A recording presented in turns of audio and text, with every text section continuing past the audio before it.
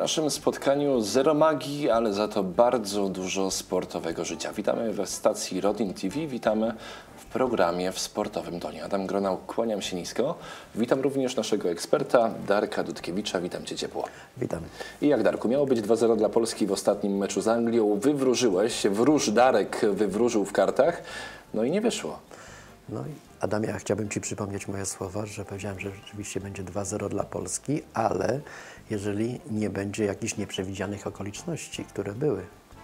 I to jest Twoim zdaniem znak do tego, że to 1-1 że to 1-1 mogło się zdarzyć i że miało do tego prawo. Ale zobacz, z drugiej strony miałeś rację, opadły dwie bramki, jakby nie było. No, powiem Ci w ten sposób, że jeżeli mecz by odbył się Adam we wtorek, byłoby 2-0. Następny dzień mogło być tylko 1-1. Króciutko, bo do tego tematu wrócimy jeszcze w naszej drugiej części.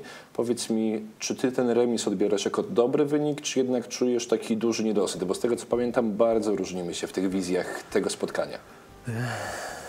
1-1 przed meczem na pewno w ciemno bym wziął, jeżeli była taka możliwość, ale pokuszę się o takie stwierdzenie, że powinniśmy ten mecz wygrać. Widać już rękę trenera Fornalika, widać fajny zespół. Dawno, dawno ten zespół tak fajnej piłki nie grał.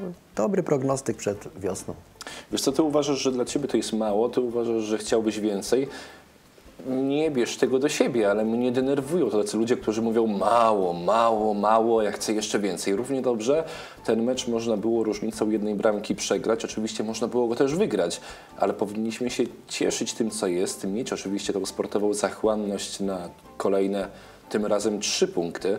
No, aczkolwiek czy to jest takie dobre, robienie sztucznej presji i po raz kolejny pompowanie takiego balonika? Nie sądzisz, że może się to skończyć tak jak podczas Euro?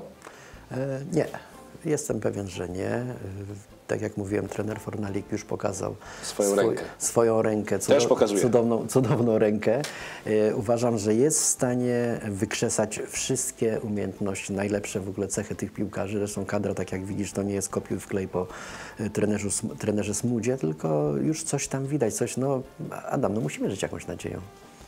W końcu nam jako kibicom i obserwatorom tego, co dzieje się na naszych piłkarskich boiskach, nie zostaje nic innego jak solidna dawka piłkarsko-sportowej nadziei. Bez nadziei myślę, że daleko byśmy nie zaszli. Tymczasem przechodzimy do ósmej kolejki piłkarskiej Ekstraklasy, w której działo się dużo dobrego, niespodziewanego. Mieliśmy sporo bramek, dużą ilość kibiców na piłkarskich ekstraklasowych stadionach i dużo emocji. Pierwszy mecz to spotkanie Górnika Zabrze z Koroną Kielce i kolejny popis napastników zabrzeńskiego zespołu Milik i Nakulma jako najlepsza para póki co tej rundy piłkarskiej Ekstraklasy. Tych par pale- parę jest, jak wiesz, w naszej ekstraklasie, ale rzeczywiście słusznia, słuszna uwaga, zarówno Milik, jak i prezes Nakulma w tej chwili bardzo mocno się wyróżniają. Co prawda mecz rozegrany był, mówiłeś o dużo kibiców, no tu tylko 3000, ale ze względu na to, że jeszcze plac budowy mamy w Zabrzu. E, Fajny mecz, dużo spięć. Bardzo dużo sytuacji podbramkowych. Zarówno trener Nawałka, jak i trener Ojrzyński mogą być zadowoleni z poziomu sportowego. Co prawda trener Ojrzyński Trochę pewno mniej. Trochę mniej, ale z tego co wiem, z optymizmem patrzy w przyszłość. Ty dalej uważasz, że Milik już teraz po ośmiu kolejkach jest taką największą gwiazdą ekstraklasy i że cały świat przed nim? Bo rozmawialiśmy na ten temat w ostatnim programie. Podtrzymujesz tu swoją opinię? E, tak, teraz jest jedna bardzo ważna rzecz dla tego chłopaka, żeby potwierdził to, co się o nim mówi dobrego. Niech wyrzuci z głowy te wszystkie zapytania, wywiady. On ma grać w piłkę, niech robi to jak najlepiej, a świat piłkarski przed nim się otworzy otworem. Wiesz co, z jednej strony czyta się w prasie, że PSW, że Udinese, że Hannover, że Borussia Dortmund i jeszcze wiele, wiele innych klubów próbuje zrobić wszystko, żeby już e, zimą mieć go u siebie. Moim zdaniem nie. Moim zdaniem absolutnie nie. Rok przynajmniej musi spędzić w Ekstraklasie i moim zdaniem ten rok to może być jeszcze za mało. Osobiście twierdzę, że ja bym go nie robił gwiazdą tej Ekstraklasy. To jest dopiero 8 kolejek, oczywiście kilka bramek zainkasował. Prawdopodobnie, miejmy nadzieję, kolejnych kilka przed nim, ale ja nie chciałbym za kilka spotkań stwierdzić, że to była jednorazowa gwiazda. A o to troszkę się boję. E, Coś, Adam, w tym jest. E, To, to co ty mówisz, bo masz doświadczenie, mamy z innych e, Myślałem, sytuacji. że ja mam doświadczenie z występami w Ekstraklasie. Niestety nie. Szkoda. Nie dotknąłem nigdy tych pieniędzy. Szkoda, Adamie, i myślę, że no, chciałbym, żebyś się rozczarował mile, że Milik jednak rzeczywiście na wiosnę wyjedzie. Naj, jeśli już tu padła nazwa PSV Eindhoven, bardziej bym wolał go widzieć w Ajaxie Amsterdam, który słynie z tej takiego obrabiania tych takich diamencików i później w świat. A ja chciałbym go widzieć w Górniku Zabrze, który ewentualnie wygrywa albo zajmuje wysokie miejsce w piłkarskiej ekstraklasie, który występuje w europejskich pucharach i kto wie, może w końcu dostaje się do fazy grupowej piłkarskiej Ligi Mistrzów dzięki Milikowi. I tego im życzymy. No ale prawdopodobnie, znając naszą piłkarską rzeczywistość, ten piłkarz, tak samo jak inni wyróżniający się w górniku, odejdą, przyjdą mierne pieniądze, przyjdą mierni piłkarze, a Liga Mistrzów po raz kolejny szyderczo się z nas zaśmieje. Górnik Zabrze Korona Kielce 2 do 0. Tym razem przenosimy się do Lubina na Dialog Arenę, gdzie tamtejsze Zagłębie podejmowało Lech Poznań. No, tu kibice dopisali. 10,5 tysiąca osób oglądało to spotkanie. W piątej minucie Wojo Ubi- Ubipary, Ubipari strzelił bramkę na 1-0 dla Lecha. Zagłębie próbowało walczyć, chciało, nie można powiedzieć, że nie chciało. No niestety ten gol stracony tak szybko wstrząsnął tym zespołem, no sparaliżował ich, niestety nie udało się. Pytałeś mnie dzisiaj, y, czy trenera Hapala dni są policzone. Ja powiem szczerze, w każdym innym klubie, w każdym innym klubie, gdzie prywatne pieniądze były położone na e, szali, ten pan by już dawno odszedł. To są pieniądze spół, spółka Skarbu Państwa i niestety ktoś po prostu marnotrawi. Ale coś mi się tutaj nie zgadza. Ja też w życiu bardzo wiele rzeczy chcę. Ja mam nadzieję, ja liczę, że będzie dobrze. Nie zawsze wychodzi. Jeżeli mi nie wychodzi, to ja za to obrywam. A tutaj piłkarze, trener, sztab, ci wszyscy ludzie zostają, zarabiają srogie pieniądze, o których e, zwykły Kowalski może tylko pomarzyć. No zgadza Gdzie się. jest ten precedens? I po czyjej stronie leży? No jeszcze raz powtarzam, jeżeli by to były prywatne pieniądze, tego tematu by nie było. A tak Zagłębie męczy się z trenerem Hapalem, trener Hapal męczy się z piłkarzami.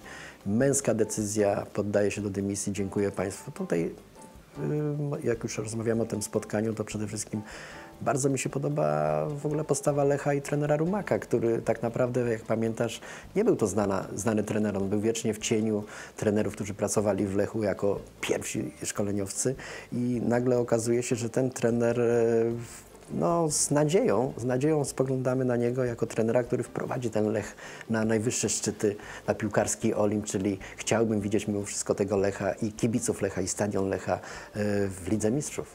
Co więcej, wielu trenerów mówiło, że jego rumakowanie w Lechu szybko się skończy, a tymczasem rumakuje ku pierwszemu miejscu w tabeli. Nasz krótki apes, apel mój i Darka Dudkiewicza do władz Zagłębia Lubin. Drodzy Państwo, drodzy Panie, drodzy Panowie, szanowny zarządzie klubu, nie trzeba trenerowi Hapalowi płacić grubych tysięcy złotych po to tylko, aby siedział w Polsce. Wiemy, że życie w naszym kraju nie jest proste, ale my z Darkiem również możemy pracować, również możemy trenować za 500 złotych mniej. Na przykład. Czemu nie? Oczywiście. Może być zamiast Przyjmujemy. Ja od razu 20 podpisuję tysięcy bierzemy 19,5. Niech będzie nasza strata. Na przykład. Możemy. Za tydzień. Praca. Za tydzień widzimy się w Lubinie, tymczasem przechodzimy do kolejnego spotkania. GKS Bełchatów grał z Podbeskidziem Bielsko-Biała. Grał, grał, grał i wygrał. 2 do 1. No, z przykrością stwierdzam fakt, że Bełchatów już tak niewiele ma wspólnego z naszym papieżem. Poprzednio e, naśmiewaliśmy się z tych 16 jego pozycji. No, w tej chwili Bełchatów opuścił to niemiłe miejsce. Jest w tej chwili na 14 miejscu. Wygrał po bramkach Pawła Buzały i Kamila Wacławczyka. Prowadząc 2-0 Kamil Adamek, ten o którym mówiliśmy niedawno grający na e, boiskach Ligi Okręgowej, e, na południu Polski strzelił bramkę na 2-1. Nie udało się już wyrównać. Cóż, Złomańczuk, tak jak powiedział na konferencji prasowej, że przystąpiliśmy z wiarą w zwycięstwo. E, Trener, który nagle stał się tym trenerem, zdobył punkty. Nie sądzisz, że to jest przypadek? Że oczywiście 2-1, pięknie, ale pod Beskidzie jeszcze wtedy z trenerem Kasperczykiem od kilku spotkań mocno chyliło się ku spadkowi z ligi. To tak jakby mimo wszystko Goliat stanął naprzeciwko zwykłego szarego szaraka, zwykłego zespołu i miał go, przepraszam, nie sprać. No, mam pewien, pewien niedosyt, jeśli chodzi o Podbeskidzie, bo tak jak kiedyś tutaj dumnie y, cytowałem kibiców y, y, górali, idzie, idzie Podbeskidzie, prawda? Panowie, o to właśnie przyszło. Ja w tej chwili uważam, że Podbeskidzie stać na to, żeby ma, maszerować. y, W kierunku pierwszej ligi. E, Na razie maszeruje. Ku temu zmierza. Tak, znaczy ku temu zmierza, ale myślę, że się obroni, czego im serdecznie życzymy. Tak czy owak dzisiaj trener Kas- Kasperczyk został zwolniony. Czekamy na jego następcę.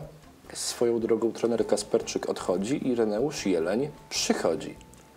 No, ciekawostka. Byłem w ogóle w szoku, y, dlaczego on jeszcze nie zagrał. Był Chatowie. Znam procedury, sam to u siebie w klubie robię. Wiem, że Może no, musi powalczyć o miejsce w pierwszym składzie. no tak mówią, że nie trenował z nimi, z nimi, ale ja myślę, że przy takiej recesji jak i deficycie punktowym, jaki jest y, i w strzelaniu bramek, zwycięskich bramek w Podbeskidziu, Jeleń y, z pociągu wysiadający bezpośrednio z peronu, idący na mecz, rozgrzewka, wchodzi, myślę, że tą bramkę by strzelił. Mógłby wziąć na rogi inne zespoły piłkarskiej ekstraklasy. A jeżeli mowa o innych, to tym razem przenosimy się do Gliwic, gdzie kolejny rekord publiczności. Tamtejszy Piast e, grał z Widzewem Łódź. To spotkanie było jakoś pojmowane jako swoisty rewanż za poprzednie spotkanie Pucharu Polski, gdzie Piast Gliwice wygrał. Tym razem miało być ponownie, jednak podopieczni trenera Mroczkowskiego Łodzianie sprawili bardzo przyjemne rozczarowanie dla kibiców Piasta Gliwice, dla nas wygrywając 2 do 1. No, kiedyś Adam, rozmawialiśmy, Piast Gliwice zawsze o te półkroczku, przynajmniej na starcie, jako Beniaminek był przed każdym zespołem. W tej chwili tę różnicę mają na minus, y, czyli każdy zespół, który z nimi gra, gdzieś tam o tą jedną bramkę, jedną akcję, ważną akcję meczu jest e, do przodu. No, widzów, tak jak mówiłeś, blisko 7 tysięcy na nowym stadionie Piasta. Piast już gra od no, pr- prawie rok, już gra na tym stadionie. Przede wszystkim Piast, y, bolączką Piasta jest brak y, skuteczności. No nie oszukujmy się, wygrywa ten, kto strzeli więcej bramek. W ogóle piłka nożna to jest gra błędów. Kto ich mniej popełni, prawda, to schodzi z boiska uśmiechnięty. Y, Przede wszystkim uśmiecham się do trenera Mroczkowskiego. Radek obronił się, obronił się. Wielu już się znalazło malkontentów, którzy tam uważali, że już po Widzewie, po Radku, Radek się ma dobrze, Radek punktuje, Radek odkrywa kolejnych piłkarzy y, na boisku. Zadecydowała indywidualna akcja o Łukasz Broś karnego strzelał. Był faul na Mariuszu Rybickim, młody zawodnik. Kiedyś rozmawialiśmy, że będziemy rozmawiali o każdym młodym zawodniku, tak jak mieliśmy wcześniej w Podbeskidziu tego Adamiaka, którego warto gdzieś zobaczyć. yy, I W Biedronce. Adamiak, Biedronce, Adamiakowa. Adamiaka, z Adamiakowem, ale to Mariusz Rybicki się pojawił. Pojawił się yy, Kaczmarek, który w 39 minucie strzelił na 1-0. Przy tej sytuacji, jaka jest w Widzewie, mówi się o tym, że tam nie ma pieniędzy, ci młodzi ludzie mają szansę, bo jak są pieniądze, przychodzą stare repy, doją te kluby, kluby prezesi płacą, Ty a dalej nie jest. podoił? Wszyscy by się podoili troszkę, tylko trzeba zachować ten dobry umiar. No tak, małą łyżeczką. Małą łyżeczką, duże pieniądze. Czemu nie? Widzew wygrywa 2-1. Widzew odbija się od ostatniej przygranej, odbija się bezpośrednio na trzecie miejsce w tabeli i kto wie, czy w tej rundzie jesiennej nie zgotuje przyjemnego zaskoczenia dla wszystkich malkontentów i dla wszystkich, którzy Widzew skazywali na porażkę w tym sezonie piłkarskiej Ekstraklasy. Kolejne spotkanie, tym razem pod Wawelem. Taj, tamtejsza Wisła grała z Jagiellonią Białystok. Grała i miała wygrać, grała i w końcu miała strzelić solidną dawkę goli. Grała i zremisowała, ale dla mnie to tak jak solidne przegranie. O, solidna porażka. Solidny, ten remis naprawdę to jest porażka. Wisła Kraków niestety nie rozpieszcza swoich kibiców. Ja myślę, już że nawet wżywaliśmy nie, roz, nie tyle nie rozpieszcza, co rozczarowuje i to z całej siły. i rozczarowuje. Na pewno ten smog wawelski powi- powinien interweniować, zionąć ogniem. Już wzywaliśmy go, probierza przepędził. No ale proszę Państwa, 12 miejsce zespołu, który jeszcze nie tak dawno bił się w eliminacjach Ligi Mistrzów i dużo nie brakowało, żeby awansować do, już do rozgrywek gru- grupowych. Nagle się okazuje, że remisuje w meczu z Jagiellonią Białystok na własnym stadionie. 19 tysięcy ludzi, Adam, na stadionie. Tylu Krakusów przyszło oglądać i co? I nic, i w tym sezonie chyba, chyba nie ma nic gorszego niż nie wygrać z Jagiellonią. No, Jagiellonia nie jest za mocna, ale nie zapomnijmy o tym, że Jagiellonia jest to zespół taki no, nieobliczalny. On potrafi grać w piłkę. Y, Widziałem parę meczy tego zespołu. Co prawda trener, trener Hajto cały czas twierdzi, że jest wszystko w porządku. Ich stać na coś więcej, nawet na zwycięstwo w Krakowie. Nie no, u niego jest wszystko w porządku, bynajmniej na jego koncie. Trochę gorzej jednak z kątem punktowym Jagiellonii Białystok. Powiedz, co się dzieje z tą Wisłą? Kolejny mecz bez zwycięstwa, kolejny mecz bez polotu. Ten skład w ogóle jakiś, jakby te wzmocnienia zupełnie nie zostały zrobione. Szczerze mówiąc, skład Jagiellonii podoba mi się znacznie bardziej, choć uboższy w te znane nazwiska. O tyle gra tego zespołu podoba mi się bardziej niż gra Wisły Kraków. Co tam zostało przegapione? Przegapione została jedna rzecz. Ja uważam, że trzeba było jeszcze szybciej niż tamten trener odszedł zatrudnić jak najszybciej tego nowego, czyli Kulawik owszem jako kontynuacja jakiejś myśli i zaraz po tym już powinien przyjść Ale trener. teraz nie ma nowego, teraz jest nowy, stary Kulawik. No Kulawik, no ale ja mówię, że jest, to- jest to trener, który może być bardzo dobrym asystentem dla każdego nowego szkoleniowca. Oczywiście zakładamy, że to nie będzie pan Franciszek Smuda, którego widziano na Wawelu, ale myślę, że bardziej przyjechał konsumować krakowskie bajgle, niż próbować negocjować swój kontrakt z panem Cupianem. Nie chciałbym być e, złym wróżem Adamem, ale twierdzę, że Kulawik Wisła Kraków będzie kuleć jeszcze mocno, mocno i jeszcze mocniej do końca tej rundy, aż skończy się tak kolejną zmianą trenera. I kto wie, może już nie kulawikowaniem, ale trochę szybszym podążaniem w górę tabeli. Ostatnie dwa spotkania na szybko to Lechia Gdańsk, Śląsk Wrocław. Mecz przyjaźni, ale bardzo nieprzyjaźnie potraktował Śląsk Legię, Lechię. Na początku przegrywając 2-0, ostatecznie wygrywając 3-2. No, przy prowadzeniu 2-0, jak się ma akcję na 3, trzeba ją strzelić. Tutaj przede wszystkim zawiodła skuteczność. No i niestety za zaczęło się. Trener e, Lechi Bogusław Kaczmarek uczula zawodników na e, jednego zawodnika, który mógł im zagrozić, którego się bardzo obawiał i którego bardzo dobrze znał, Sebastiana Mile, który zagrał koncert. Strzelił dwie bramki w 62 i 71 minucie i niestety skończyło się na wyniku 2 do 3 w obecności, uwaga, siedzisz Adam, 19,5 tysiąca kibiców. Myślałem, że mówisz o swojej miesięcznej wypłacie 19,5 tysiąca już o tym marzeniu z Zagłębia Lubin. 2 do 3 e, przegrywa Lechia, 3 do 2 wygrywa Śląsk Wrocław. Kto wie, czy to nie będzie dobry prognostyk dla Wrocławian, dobry prognostyk dla nowego trenera i dla wszystkich kibiców, którzy mają nadzieję odzyskać wiarę w swój zespół i oby w ich jak najwyższą pozycję w tym sezonie piłkarskiej Ekstraklasy. Szybkim mykiem przenosimy się do stolicy. Tutaj Polonia Warszawa grała z Ruchem Chorzów. Grała i jak można się spodziewać, wygrała 2 do 1, choć nie zaczęło się dobrze. No nie zaczęło się dobrze. Arkadiusz Piech w ósmej minucie e, po fajnej akcji strzelił na 1-0. Okupił to kontuzją. No, niestety radosna i smutna chwila i od tego momentu niestety już nie było tego mechanizmu Piech e, Jankowski, ale był za to wszołek Teodorczyk i spółka. Dżwaliszwili na 1-1 w 18 minucie, czyli bardzo szybko Polonia się podniosła. No i Brzyski w 37 minucie na 2-1 po indywidualnej akcji Pawła Wszołka, który jak nie przypadkiem dostał powołanie do reprezentacji. Wielu ludzi mówiło, że zawiódł w meczu reprezentacji. Ja bym powiedział, że nie. On bardzo ciężko pracował. To był piłkarz, który tych Anglików na tej swojej stronie zamęczył. On zaganiał i widać było, że oni sobie z nim nie radzili. Zobaczysz, jak on będzie jeszcze grał w piłkę. Ja zobaczę i Państwo zobaczą, zobaczą Wszołka, zobaczą po przerwie stukającego naszego eksperta sportowego Darka Dudkiewicza. Zobaczą Państwo również naszego kolejnego gościa, który jest piłkarzem i który, który o piłkarzach od kuchni i w życiu prywatnym opowie. Zapraszamy na kolejną kolejkę piłkarskiej Ekstraklasy to za tydzień i na program w sportowym tonie po krótkiej przerwie. Do zobaczenia. Do zobaczenia.